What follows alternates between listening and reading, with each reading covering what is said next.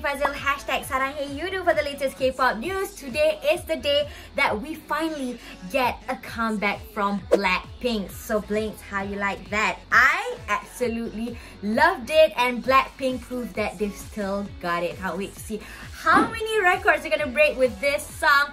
So stay tuned, okay guys? I know throughout this pandemic, a lot of things has been happening and a lot of things has been cancelled. So sad, but it's okay. Safety comes first. And from the start of it all, I know that BTS has been giving ARMY something to look forward to. I mean, we had the first Bang Bang Con and then the two weeks ago we had Bang Bang Con, the live and also something in between for us to always look forward to. I mean, last week we even saw Jungkook and Jimin make some kimbap. I mean, that's awesome content right there. And speaking of online content, I have special news for you guys. I have 10 tickets to give away for (G)I-DLE's Island QMI online concert happening on the 5th of July. Well, we were supposed to catch them live here in Kuala Lumpur this month, but it's okay. We can catch them online. How you gotta get the tickets? You gotta just follow Yoodo and then hashtag SarangHaeYoodo.